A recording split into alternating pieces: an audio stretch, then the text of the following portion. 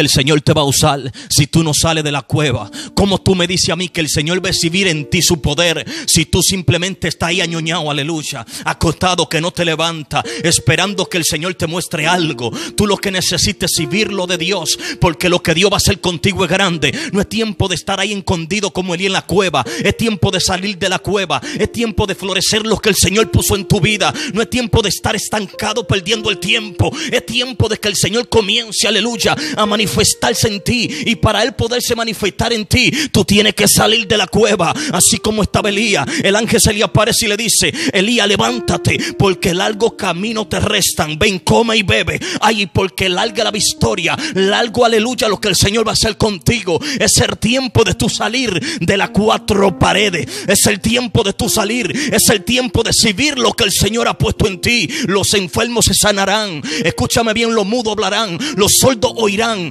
los paralíticos se levantarán, los muertos van a resucitar. Dice la palabra que mayores cosas de las que Él hizo, nosotros haremos. Y es tiempo de exhibir su gloria. Es tiempo de que el potencial que Dios ha puesto dentro de ti, tú lo exhibas con garantía, con poder, con manifestación. Porque lo que viene para ti es grande. Sal de la cueva.